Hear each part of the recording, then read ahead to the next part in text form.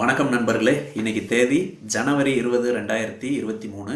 நேரம் மதியம் ரெண்டு மணி முப்பத்தி ரெண்டு நிமிஷம் ஆகுது இன்னைக்கு நமக்கு ட்ரேடில் ஒரே ஒரு பை சிக்னல் தான் கிடைச்சது. அதுக்கப்புறம் அப்படியே மார்க்கெட் சைட்வேஸ்லேயே தான் இருக்கே தவிர எந்த மூமெண்ட்டும் இல்லை. பை சிக்னல் வந்ததுனால கால் ஆப்ஷன். எம்ஐஎஸில் ஒன்று நார்மலில் ஒன்று வாங்கினது. நார்மலில் வாங்கினது காலையிலே டார்கெட் அச்சீவ் ஆயிடுச்சு எம்ஐஎஸில் வாங்கின ஒன்று மட்டும் ஓப்பனில் இருந்துச்சு. இன்றைக்கி நம்ம மூணாயிரம் ரூபாய் டார்கெட் மூணாயிரம் ரூபா ஸ்டாப் லாஸ் எல்லாமே செட் பண்ணியிருந்தோம். ஒன்று மூணாயிரம் ரூபா ப்ராஃபிட் வரட்டும். அப்படி இல்லைன்னா மூணாயிரம் ரூபா லாஸ் வரட்டும்னு. அந்த ரெண்டு லெவலையுமே போய் தொடலை. மூணாயிரம் ரூபா ப்ராஃபிட் அப்படிங்கிற அளவையும் போய் தொடலை. மூணாயிரம் லாஸ் அப்படிங்கிற அளவையும் போய் தொடலை. முழுக்க முழுக்க இன்றைக்கி மார்க்கெட் சைடுவேஸில் தான் இருந்தது. நான் வழக்கமாக ரெண்டரை மணிக்கு மேலே ட்ரேடு பண்ணுறதில்ல அதனால நான் என்ன பண்ணி வச்சுருந்தேன் அப்படின்னா இந்த ப்ராஃபிட் அண்ட் லாஸ் புக் அப்படின்னு ஒரு இடம் இருக்குது பாருங்கள் ரோபோவில் அதில் போனோன்னா ஆட்டோ ஸ்கொயர் ஆஃப் டைமிங்னு இருக்கும். அதில் என்எஃப்ஓ என்எஸ்சி அப்படிங்கிற செக்மெண்ட்டில் பதினாலு முப்பது அதாவது மதியம் ரெண்டு மணி முப்பது நிமிஷம் அப்படிங்கிறத செட் பண்ணி ஆட்டோ ஸ்கொயர் ஆஃப்ங்கிறதுல இங்கே எஸ் பட்டனை கிளிக் கொடுத்துட்டேன். அதனால் என்ன ஆயிடுச்சு அப்படின்னா ரெண்டரை மணிக்கு ஆட்டோமேட்டிக்காக எல்லா பொசிஷனையும் கட் பண்ணிருச்சு. இன்றைக்கி நமக்கு ஒரு ஐநூற்றி அறுபத்தி எட்டு ரூபாய் எழுபத்தஞ்சு பைசா அப்படிங்கிறது லாபமாக கிடச்சிருக்கு.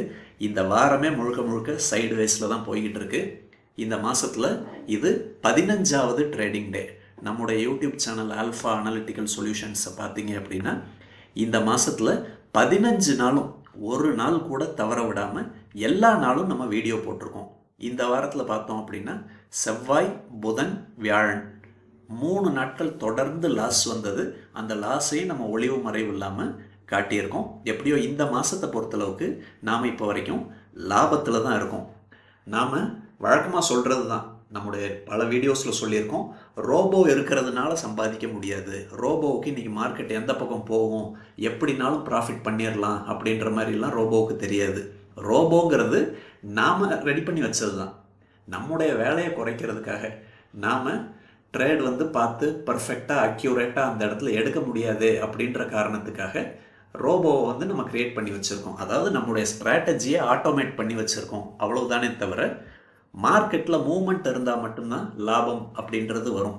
ஸ்ட்ராட்டஜி நம்ம எத்தனை ஸ்ட்ராட்டஜி வேணாலும் க்ரியேட் பண்ணலாம். அதில் ஒரு பை சிக்னல் வருது அப்படின்னா பை சிக்னல் வந்ததுன்னா கால் ஆப்ஷன் பை ஆகுது.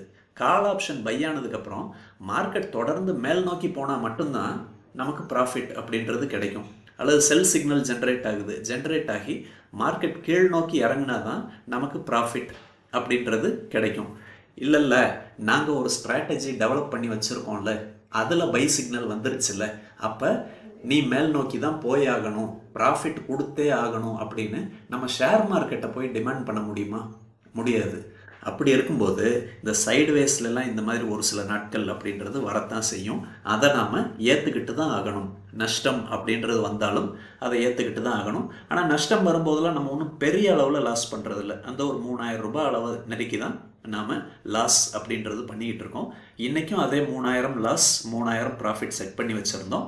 அந்த ரெண்டு லெவலையுமே ரீச் பண்ணல. இன்றைக்கி ஒரு ஐநூற்றி அறுபத்தி எட்டு ரூபா லாபத்தோடு நாம் க்ளோஸ் பண்ணியாச்சு. நாம் எப்போவுமே ட்ரேட் அப்படின்றது இப்படி தான் பண்ணணும். எவ்வளோ ரிஸ்க் இன்றைக்கி எடுக்க போகிறோம் அப்படிங்கிறத ஃபிக்ஸ் பண்ணி வச்சுட்டு நீங்கள் ட்ரேட் பண்ணால் மட்டும்தான் இந்த ட்ரேடிங் கெரியரில் உங்களால் ஜெயிக்க முடியும்.